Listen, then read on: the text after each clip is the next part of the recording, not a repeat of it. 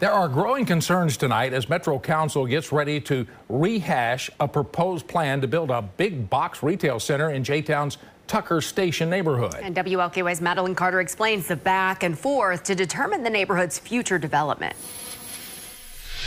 If this gets approved, the new shopping center would be built here on Taylorsville Road. And neighbors I talked to are not happy about it. Oh, the traffic would be horrible not only on Tucker Station, but Taylorsville Road, too. And it's already bad enough out there. Traffic, noise, and pollution are among neighbors' biggest concerns about the project. Kathleen Rankin lives on Tyler Woods Court and is also worried the lighting could disturb Blackacre, Kentucky's first nature preserve. This is Blackacre, and its nature comes through here. It's in her backyard.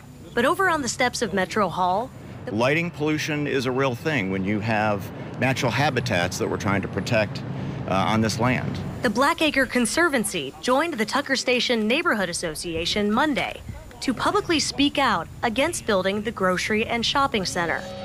A portion of the nature preserve would have to be rezoned for the project to move forward a request the Planning Commission recommends Metro Council denies. Sharon Darrohanian is one of the neighbors who spoke against the rezoning at the April 17th public hearing. Those were set up specifically to protect an area such as the Tucker Station uh, corridor and Blackacres. Those in favor of the rezoning argue it would provide an additional grocery option for the area. But opponents say that's not needed we'll just have another big box store that's competing for dollars that are already stretched thin in this in, in, in Jefferson County as it is. The full Metro Council is expected to vote on a proposed ordinance to deny the rezoning during their next meeting at 6 p.m. on Thursday.